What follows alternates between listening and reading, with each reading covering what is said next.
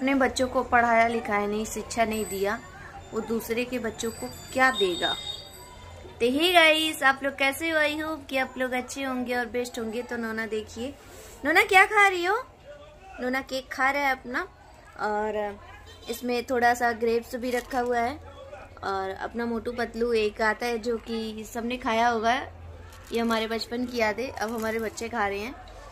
तो गाइस बात करूँगी आज विष्णु राज और मालती चौहान की जैसे कि यूट्यूब पे बहुत ज़्यादा ये इससे मिलवाऊँगी, उससे बात करूँगी, ये कर दिया, वो कर दिया।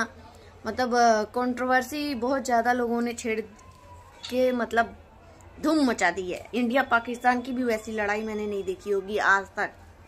जैसे कि सोशल मीडिया पे इन लोगों ने इतना ज़्यादा मतलब निगेटिव सकारात्मक फैला दिया है नकारात्मक बना दिया सारी चीज़ों को। तो गाइस जैसे कि लोगों को लग रहा है विष्णुराज जेल से बाहर नहीं आएगा तो मैं आप लोग को बता दूँ विष्णुराज को कुछ ही दिन में क्लीन चिट मिलने वाली है इलाहाबाद से।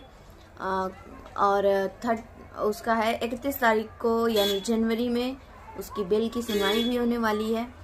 और जैसे कि उसके पिताजी कह रहे हैं कि दोषी है मुजरिम है मर, उसने मारा है मालती चौहान को तो उस पर वो धारा भी नहीं लगी हुई है, जो धारा लगने से आजीवन कारावास होती है। तो ऐसा कुछ नहीं है। बेल पे विष्णुराज बाहर आने वाला है और वो जल्द आएगा। और मैं आप लोगों को बता दूँ, मालती चौहान को मारने का, मरने का या फिर उसको मजबूर करने का इतना इन लोगों ने ज़्यादा, जैसे अभी जिन, मरने तक ज़िंदा तो छोड़ा नहीं, मरते वक्त भी इन लोगों ने नहीं छोड़ा है, उसको अभी भी लोग हर तरीके से उसको तोड़ मड़ोर को पेश कर रहे हैं। मैं ये, वो मतलब सज, समझ में नहीं आ रहा है। और ऐसा लग रहा है कि विष्णुराज इतना अच्छा काम किया है कि उसका गाना गाया जाए। जी नहीं, अपनी प्राइवेसी लीक करके अपना जो है पर्सनल किसी को इतना ज़्यादा मत बता दो। और वो तो सोशल मीडिया पे पूरा परोस दिया था। और इन दोनों का रीजन, इन दोनों खुद थे। मालती चौहान को मैं मानती हूँ कि चलो महिला है।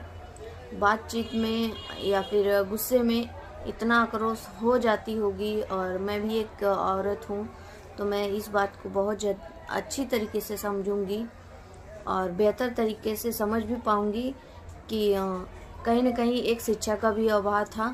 और इतना जितना ज़्यादा मालती चौहान नहीं बोलती थी और पेश करती थी अपनी बातें। उसको खुद बुरा लगता था सोशल मीडिया पे झगड़ा, लड़ाई का बातें रखना।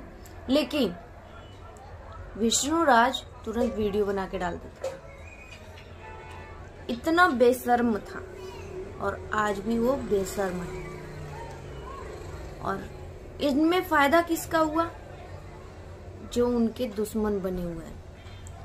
और बुरा किसके साथ हो रहा है? उस बच्चे के साथ। जो मासूम सा पूरा कागज़ है। उसका क्या कसूर है? और वो बच्चा अपनी माँ के बिना कैसे रह रहा है और बाप के बिना, वो तो उससे बेहतर कोई नहीं जानेगा। और जो अपने बच्चों को शिक्षा नहीं दिया, कुछ लोग कह रहे हैं उसके नाना के पास छोड़ दीजिए, बहुत अच्छी परवरिश होगी। जो अपने बच्चों को नहीं पढ़ाया लिखाया वो अपने बच, दूसरे के बच्चों को क्या पढ़ाएगा लिखाएगा? सिर्फ़ पैसे के भरोसे? पैसा आज दे दिया जाए कल सुनने में आता है दारू भी पीता है। दारू दारू के पीछे बिक जाएगा। बच्चा का तो फ्यूचर खराब हो जाएगा। तो आप लोग ऐसा नेगेटिव मत फैलाइए ऐसा नकारात्मक मत फैलाइए। और बहुत सारे क्रिएटर्स हैं जो अच्छे अच्छे वीडियो बनाते हैं जो लोग फालतू अफवाहें उड़ा रहे हैं फालतू वीडियो बनाते हैं आप लोग उस पर बहुत ज़्यादा ध्यान देते हैं तो ऐसा मत करिए। आप लोग को मनोरंजन देखना है इंटरटेनमेंट देखना है तो बहुत सारे अच्छे अच्छे कॉमेडी डांसर ब्लॉगर हैं, उनकी वीडियो देखिए, अच्छी चीज़ देखिए, ना कि ये सारी चीज़ें देख के अपने दिमाग में एक नेगेटिव चीज़ पैदा करें। तो गाइस वीडियो अच्छी लगी होगी तो लाइक शेयर ज़रूर करिएगा, और सारी जड़ फसाद की जड़ विष्णुराज खुद ही था। अपने घर में एंट्री दिया, चाहे मज़ा कोई और मारे, चाहे तू मार। अब तो उस बच्चे का जीवन खराब हो गया। और अभी भी कुछ लोग हैं रिकॉर्डिंग लगा के, ये लगा के, शर्म नाम की चीज़ नहीं है, एकदम मतलब मर मिटे हुए हैं। अकल नहीं आ रही है उनको। तो मिलती हूँ बाय बाय